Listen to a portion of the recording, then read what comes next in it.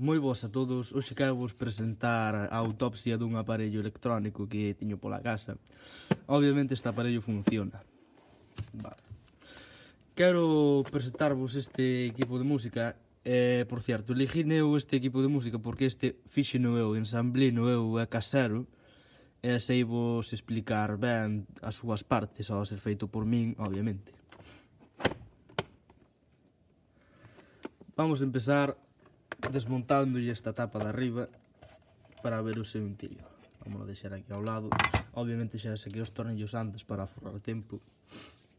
E agora vamos explicar, perdón, vamos explicar as súas partes. Un día ahora. Bono dividir en tres partes. A fonte de alimentación, que sería este transformador e máis componentes. A donde se xera o son, que sería neste MP3 que tuve que comprar, eso sí e a amplificación do audio para despois salir aos altofalantes.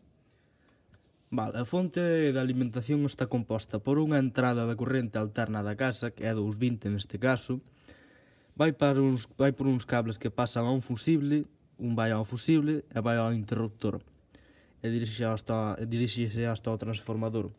Dispós o outro cable vai directamente ao transformador, non pasa nin polo fusible, obviamente, nin polo, nin polo interruptor, non? este cable que vendes aquí, este é a toma de terra, por se hai un corto ou algo aquí no transformador, que aquí non creo que falle nada, saltará o fusible. E tamén, ao estar este cable conectado á carcasa do transformador, se hai unha derivación a terra, por exemplo, salta o diferencial.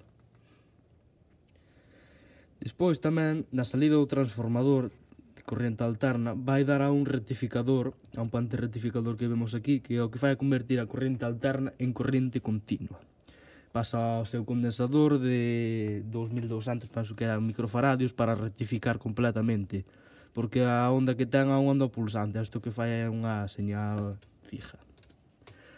Despois daqui isto pasa ao amplificador, do que vamos falar agora, pero antes, antes de nada, o amplificador vamos falar deste, deste chismirincho que é aí.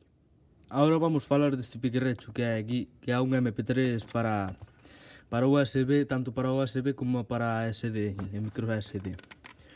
Isto que fai é convertir o que sería a lei a memoria o USB ou SD e como esta é unha MP3 o que fai é reproducir pistas de audio.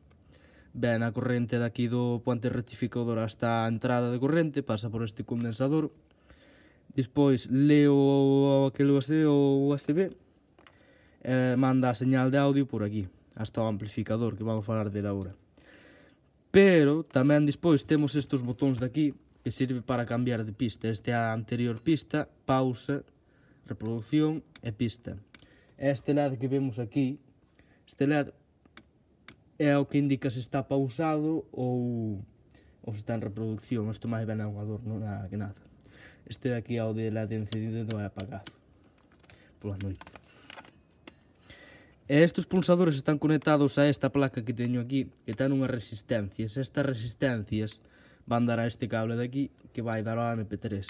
E con iso vai ler se estamos cambiando de pista ou pausando. Agora vamos ver o amplificador, que este tocho disipador de aquí é unha plaqueta. Vale, agora, agora vamos falar do amplificador, que é o que fai amplificar a señal que vai do MP3 a mandalo aos altavoces, que se escoite a maior volumen. Todo empeza aquí. Aquí e máis aquí. Aquí temos a entrada de 12 voltios, bueno, neste caso son 14, 12 voltios ao, ao amplificador. Despois temos aquí a salida de audio, que é en bastante baixo volumen, e a salida de audio vai dar a este a este conector de aquí, que isto é para enchufarlle uns auriculares. Se desenchufas, está indo directamente a señal para o amplificador, pero os enchufas van todo para, para os auriculares. Isto está aquí mecánicamente xa feito. Imaginémonos que agora non, agora non temos ningún auricular conectado. Pois pasa do MP3 vai dar este, este potenciómetro que vemos aquí que isto que fai é que según lle demos a esta perilla para lá ou para aquí, varía a súa resistencia. Se lle damos a tope, a súa resistencia é a cero. Se lle damos para a esquerda, vai aumentando. E despois temos aquí outro potenciómetro, que este potenciómetro que fai é balancear o audio. Se queremos máis que se escoite máis por un altavoz ou polo outro. Se lle damos para a esquerda, bueno, para a dereita, perdón, aquí estarías escoitando solamente o altavoz dereito. E aquí un poquinho máis que o dereito que o esquerdo. E viceversa, lle damos para a esquerda, que escoitarías un poquinho máis o esquerda, e aquí a tope, dereita. Bien. Despois de pasar por estes potenciómetros, vai por un cable apantallado que tamén temos aquí na salida, para que non meta ruido, chamase cable apantallado, e vai para as entradas do amplificador. Neste caso é un amplificador estéreo, que significa eso, que ten dous altavoces, porque hai que son mono, que teñen un. E aquí temos unha entrada de audio que sería a dereita, esta é daqui é a dereita, ves, ten o cable, e aquí temos outra entrada, a da esquerda. Ambo, ambas entradas teñen un condensador de filtraje aquí, vendes. Isto é para filtrar por que, para que non se lle meta interferencias, basicamente. E aquí temos outro. Despois temos tamén outros condensadores tamén, que este tam, estes, estes de aquí que son marróns tamén son para filtrar. Estes están na salida do audio. Para que aínda sen para filtrar aínda máis, por se quedou algo.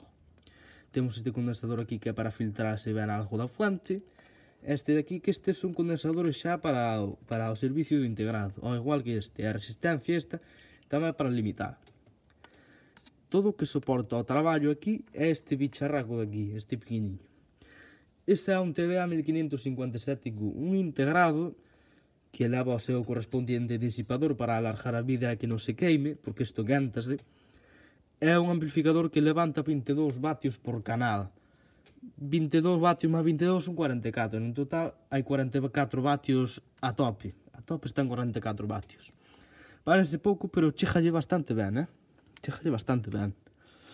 Despois, a salida de todo, temos a salida de audio, que ven nestes conectores azuis que venimos aquí. Aquí hai un e aquí outro, cos seus correspondientes condensadores do que falamos antes. E vai dar a salida de audio a estes conectores. Conector dereito, conector esquerdo van para un altavozo para outro. E hasta aquí a nosa autopsia.